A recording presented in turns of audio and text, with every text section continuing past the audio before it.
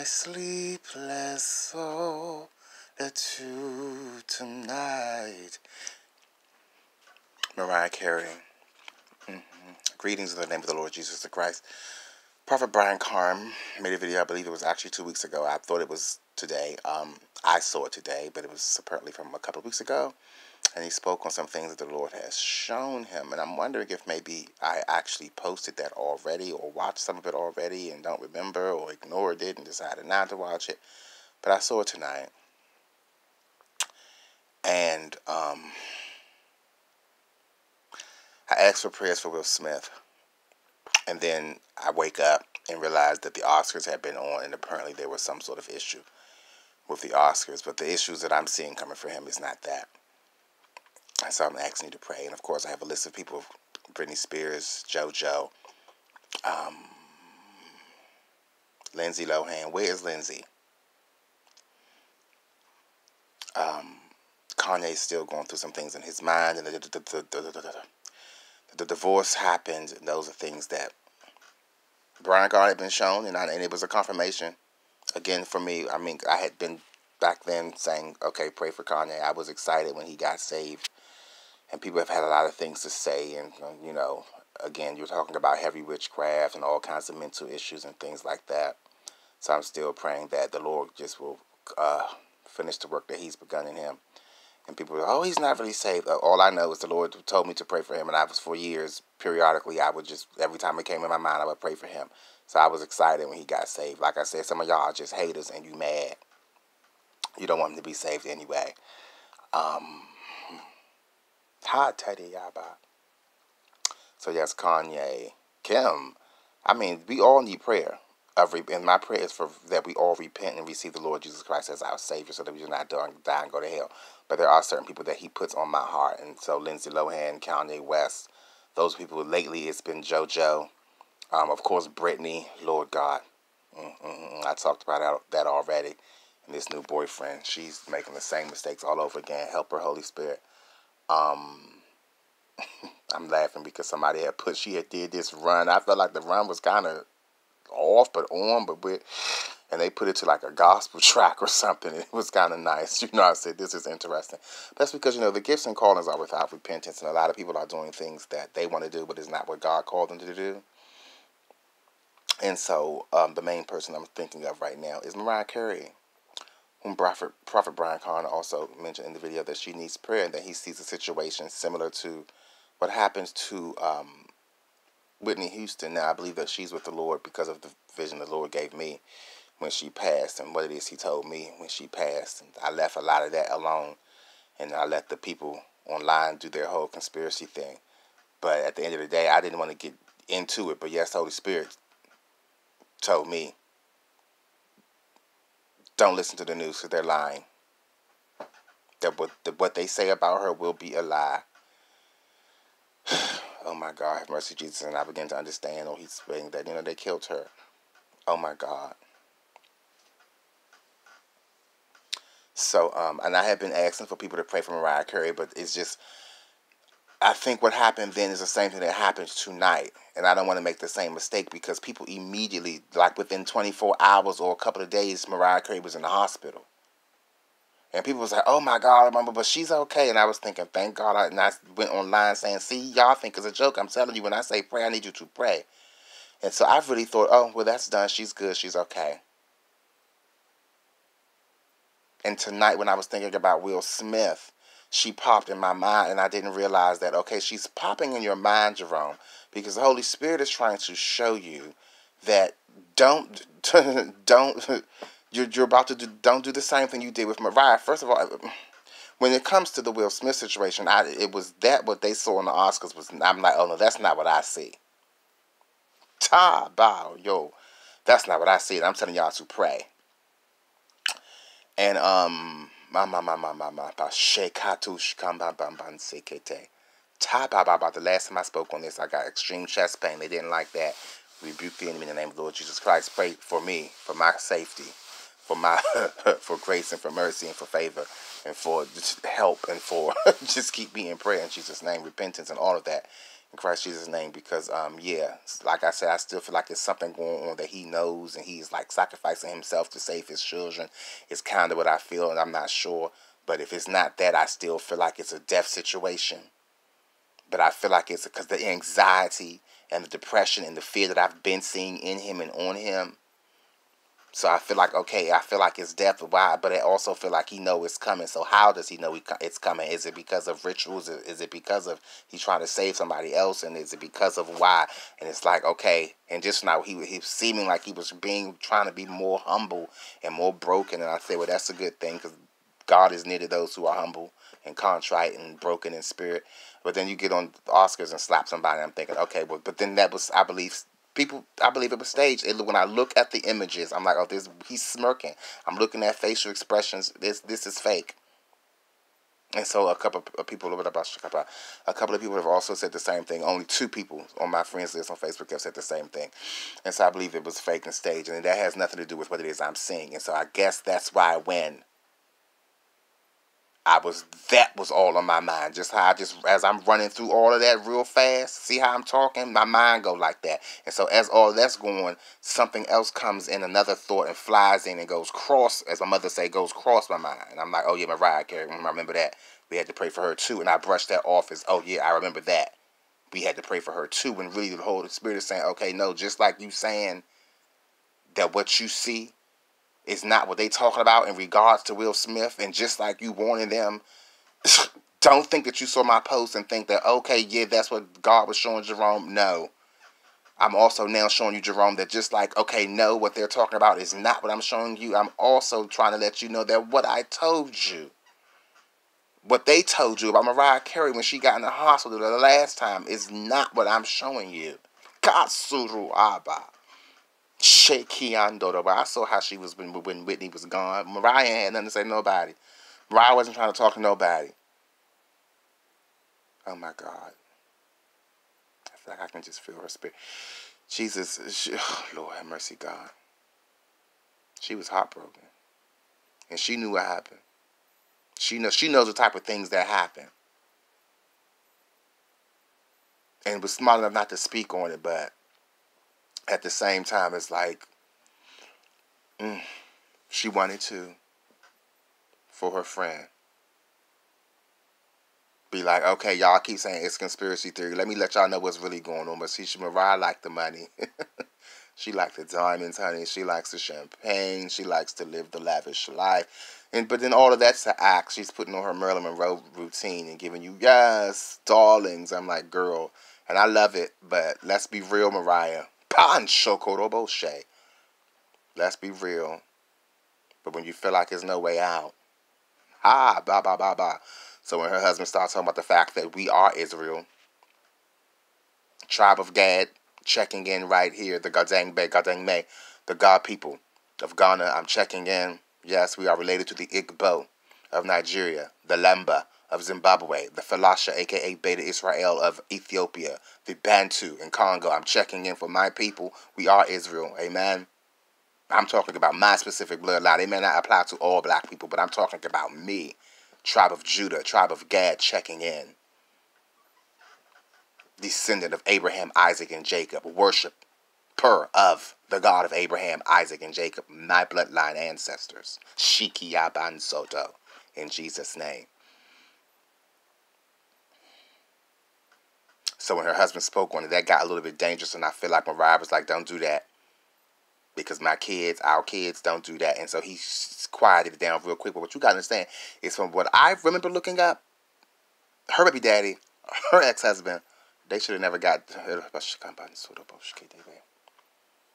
Mm, I'm not going to get into that. Um, he was raised by his grandparents who were deacons, if I'm not mistaken. And I believe I see in the spirit Mariah Carey's grandmother because I know people have she's told this story a hundred times, but I was one of her biggest and first fans. When she when that's when her cassette came on sale, I got it. It may have been bootleg. but in them days, I mean, I don't know, I, I don't know because I remember it had the the pamphlet with like the words to the songs in it, and I listened to those songs. Well, actually, that might have been later. That one might didn't have. I think the one later I got had the pamphlet, but that one probably didn't have the words in it. That might have been a bootleg. I don't know. But I listened to that. It was a cassette tape. I would play it and flip it and play it and flip it and play it and flip it. And my grandma, I said, I never heard a white girl sing like this. And my grandma said, Who was white? I said, Did her? I said, See, look. Because my grandma was going by her voice and what it is she hear. Chicago Bochet. And I said, here, here, look. And she looked, took one look at Mariah Carey back when no nobody was talking about her ethnicity. When her first CD came out, this was Christmas. You know, she loved Christmas which is really her way of letting it be known she loved Christ. That's really what it is. And she's like, no, we're going to make his name glorious, but she's trying to do it in like a little roundabout. And it just, she likes the festivity and the family. And it seems like people kind of calm down. It's not as much violence. And people kind of try to chill out at Christmas. And she just likes the energy and the feel. Is she Irish? So you got all that um, fairies and, and, and, and, and, and, and, and four leaf clovers and all of that druid witchcraft. It's all of that just you know lucky stars and you know that white witchcraft where they make it seem like it's all just fun and festivities and cute. It's deception. Christ Jesus help us. Uh, my grandmother took one look. Her said that girl ain't white. And then, the baby, a year later, if it seems like people start talking about her race, and I was shocked. I said, "Oh my goodness, grandma was correct."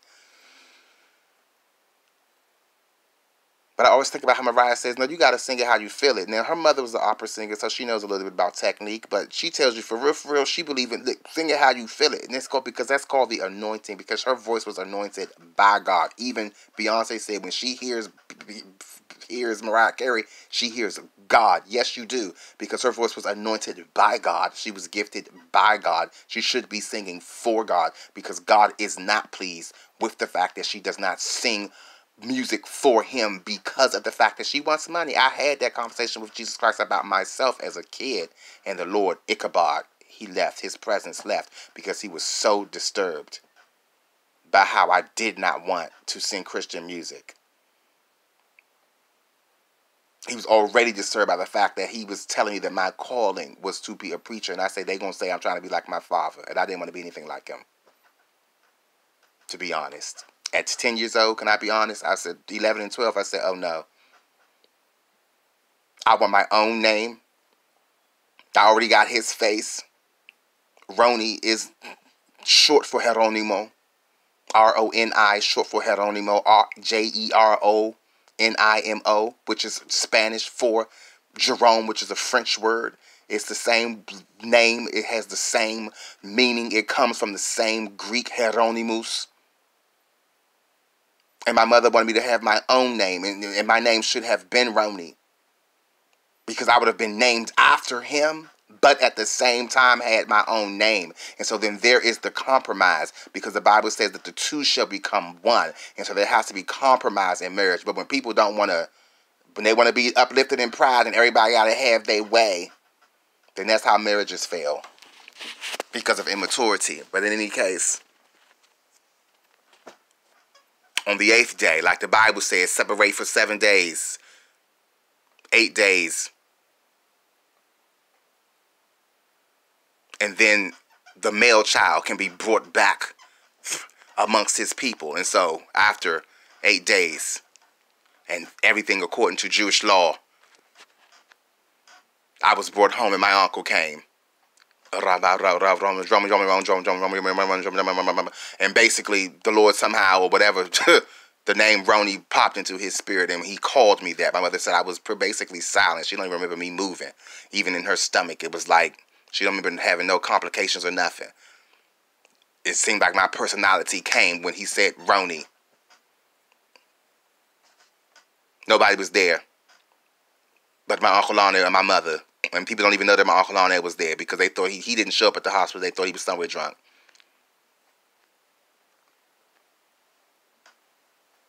So he was already upset about that.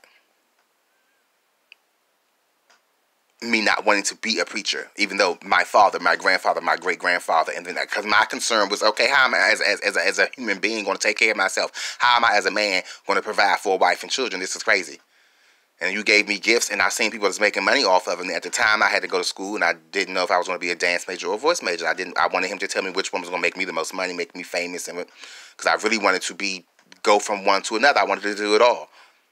To shift from a dance career into music, I would go from dance to Broadway, to then back to just in into music.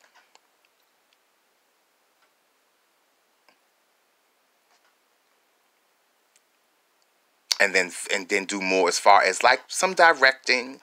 You know, I used to want to like do commercials. I always loved commercials, and I wanted to do theme songs for commercials, and I wanted to to um even maybe do like what they call endorsements. I didn't know that word as a child, but I wanted to do that. I thought my mother can be my manager. I had it all planned out. And the thing is that the things I'm mentioning right now, you can say, well, yeah, that's how the music industry works. But no, boo boo, I'm talking about the 90s. People was did not have momagers. There was no Kim Kardashian's mom. This was before Usher's mother. I had these ideas in elementary school that my mom, because I you can't trust these people, they steal money. But my mother works for the bank, so she can be my manager, and she's smart and she's pretty. And I know that when she walked through a door, just when people, I noticed how people look at my mother, they become transfixed by her beauty alone. They are transfixed, and I'm thinking, okay. That's the reason why I don't even pay too much attention to women and was sort of not attracted to women because I always was seeing the witchcraft in the vanity just from I would see how people spiritually you are broke down. As soon as my mother walked in, you broke down because you can't even get past how she look. What y'all gonna do when the mermaids and stuff show up? Help me, Holy Ghost. Help me, Holy Ghost. So I said, oh, she'll be my manager. And I'll do this and I'll do this and I might put a, a, gospel song on my record. You know, if if he's saying to just forget about the dance thing and focus on music, okay, well I can, you know, do it like this and I'll just use the dance like I'll take dance but I still need the dance classes because I need that for my music videos and you know and I'll do this and I'll do that and I'll put a gospel song here and there things that you've seen that Beyonce and them used to do put this little gospel song and God is not pleased with Fantasia and he's not pleased with Mariah in that respect but her the gifts and the callings are without repentance and they was anointed by God. That's why Mariah say, "Sing it how you feel it." And so I see in the spirit a grandmother, because like I said, I keep track. And it was the grandfather that was from Venezuela, but it's got like African blood, I think, because I've seen a cousin on the talk show on the Spanish channel who brought her niece, and I don't know if Mariah Carey came out to meet her or something, but um, it might have been Univision or whatever. It was a little girl. She did look like Mariah. Like if you see pictures of Mariah when she was a little girl, that little girl looked just like Mariah. But she was like the granddaughter of a woman whose cousin had left to go to America. They didn't really hear nothing else about him. And that's her grandfather because her mother her father is not all he's half Venezuelan and half black. I remember the articles I remember before Christina Aguilera came out, people was asking Britney Spears or asking this woman about Britney Spears, do you think anybody else is coming out that we should be on the lookout for? And she said Christina Aguilera. I remember Rihanna was singing in a bar somewhere in Bahamas and said a man, they, they the story was the man came and seen her sing. He left, came back the next week with another man, and she left that night in the middle of the night to go to New York where they had had Jay-Z come, stop doing whatever he was doing to come to the studio in the middle of the night to see her and that she performed for him. Let me shut my mouth because see, y'all see, I'm help me, Jesus, because I'm praying against gossip. But see, I read in between lines and I'm minding my business. I'm minding my business and not being a hater and not being a gossiper because the Bible said don't do that. But I remember this remember the story. and he came in the middle of the night and she performed for him and was got signed on the signed immediately. And the next thing I know, Beyonce's talking about ring the alarm because I've been doing this too long and I, if I see another chick on his arm. See, so I've always read between lines. Before there was a conspiracy theory, before there was an internet, before there was a YouTube. Because the gifts and callings are without repentance. And insight, I have it. Foresight, hindsight, because I'm a watchman. My middle name means watcher, watch, watcher, watchman. Ira means to watch. It's a person who's a watcher. So, you know, God gave me the name He wanted to have me, but I still feel like, again, My name should have been Roni. Because it's related to my father's name, but I'm a different individual and people should have their own names, like my mother said. And I should definitely have had my grandfather's last name because you're talking about lineage, you're talking about legacy.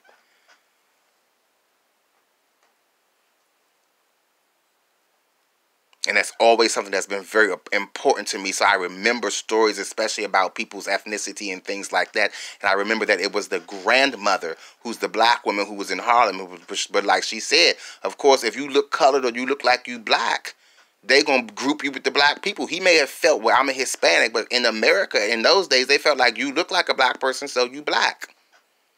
I remember these articles because I've always been into ethnicity and where you from and language and culture, and it's a reason because God is trying to gather His people because we are scattered. I know people say, oh, he always is talking about him because information is revelation, and I have to give it to you how God gave it to me. And he uses, he deals with me and shows me myself so that I can be purified and also to help me to see things in the world. And so I remember, and so I believe it's that grandmother. Talk about a praying grandmother, Mariah Carey's father's mother, that anointing, that Holy Ghost in her voice. You hear it. You hear it. I'll give my all to have. That's not, nobody taught her that. That's not nobody's school. Treated me kind, sweet destiny. That's church all day. Carried me. Oh, that's church all day.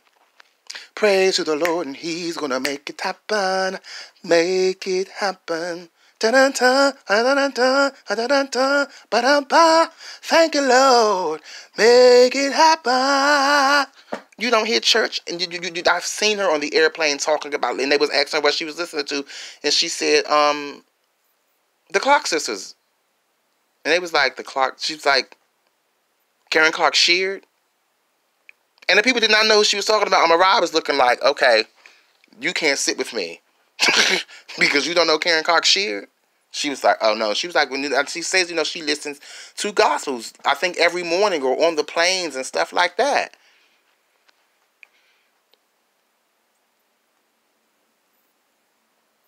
So that's so when Brian Carn speaks on how you know you don't know who people what the um who's been praying for them and um something that he might even say you know who's got a praying grandmother or who's I was like come on prophet and prophesy.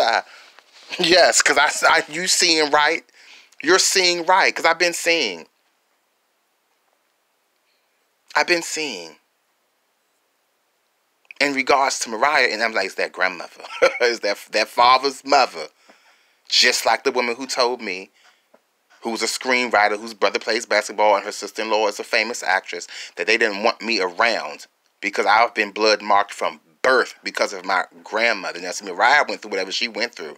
She probably would have not been famous if she had stayed living with that grandmother. She would have just either been singing in the church or the devil would have attacked her in all kinds of ways, and it would have been she would have been having probably having a horrible life, just like maybe her sister that's on drugs who keeps on trying to use her for money. Help me, Holy Ghost! There I go again.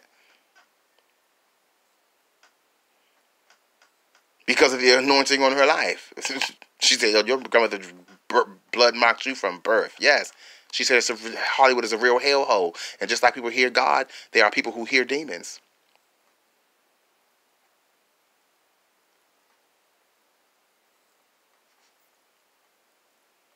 I'm just I'm I'm thinking am I, I'm I'm just sitting here saying I'm, i should say maybe, I'll say her name because I can tell you the name of the actress, and you can look her up, her husband and her sister, the, the husband's sister, and all. I could post this on Facebook and tag the pastor of the church that I went to where I spoke to this woman, and she got into a car with a friend of mine who's a preacher. I can speak to a family friend who also spoke with somebody who was a child on the show that the actress was on who's married to the basketball player who has a sister who's a screenwriter that told me this. And he can tell you, well, he won't, but he told me. See, that's how people do. They want to hide and be scared, but then they'll they'll come and tell me that, oh yeah, you know, they talk to about the rituals and the sacrifices, but you know, it's just you can um, if you say anything about it, you could just easily be discredited. And I'm like, yeah, I can easily be discredited because even if I called you out and say, didn't you tell me this, you ain't gonna have the, the nerve to say, oh yeah, I did tell Jerome that because people that's how people are. But it's fine. Because God knows I'm telling the truth. So when he speaks about a Whitney Houston type of a situation when it comes to Mariah, all I can say is we have to pray because I thought that Mariah was out of the woods. I thought I was done praying for Mariah. Even though I lately, I can't even say that because no, I lately I was feeling like God is just not pleased with her, and she chased the fame because again, I tell you all that story about how it is I looked at my career and stuff because I saw her and I saw other celebrities doing things. I Lady Gaga, I remember always telling people, fame, she calls herself fame monster. I always, in middle and high school and stuff, I kept saying, listen, people do not understand. Any publicity is good publicity as long as they are talking about you. The problem is when they stop talking. I've been saying that since middle school. I never, I was, people talk about scandals. I, I never cared. I'm thinking, listen, as long as they talking about you and the attention is on you, good. You can turn a scandal and even even Hillary Clinton said, or you or somebody like that, one of these politicians, you never you never want to waste a good um ca- ca- catastrophe. Oh my gosh, get that body, get that. But then see, sometimes you gotta understand, and sometimes you do things in life. It's like you don't need attention. You don't want attention. You might you might want to be quiet. You might not. You might want to just keep your head down low. Because some things people don't know. You can get locked up. You can get killed. You know. Help us, Holy Ghost, and protect us in Jesus' name. Suruaba de Gedeyamba. You got to make the right decisions. I've had, I got friends that's pretty famous, and their fame is rising. Even as they get older, their fame is rising. You know. But it's because they stage themselves. They don't have many friends. I mean, like two, like me and one other person, and they have associates. And even it's like, okay, I have this one really good friend from this company, and I have this one really good friend from over here, and I have this one little good friend from over here, and then that's it. And then even they are on the like outer circle, and then it's just boop, just me, and one other person is a friend, and the rest is fans, and you don't know nothing about them. So then when you you can, people don't even know if their storyline that they're seeing in the newspapers is real because nobody's checking it, nobody's coming against it, nobody's saying, but wait a minute, I remember him because even in high school he was very very shady and stated to himself. Well, least people felt like he was shady, and I kept telling those people, oh, he's not shady to me, he's shady to you. You got to look a certain way. You got to act a certain way. You got to watch everything you do because reputation. Hmm. Was always a person who was just a little too wild and a little too out there. But I know how to work it. Hmm. and once you get to a certain level and you got security guards and stuff like that, you ain't got to worry about nothing. And then those people, those people pay people off and they do witchcraft and all kinds of stuff. So even the things that you've done in the past, kind of so they don't catch up with you, you'll be surprised at what money can do. And like I say, these people practice witchcraft. And so then they just get their judgments when they are dead and gone, and then Jesus judges them, and then that's that. But, but other than that, then you can't really do nothing about it. And Mariah Carey understands all of this. She knows how the industry works. She was married to Tommy Mottola. Lift down the lane. Y'all know the story. She was singing background for Brenda K. Starr. I still believe someday you and me will find ourselves in love again.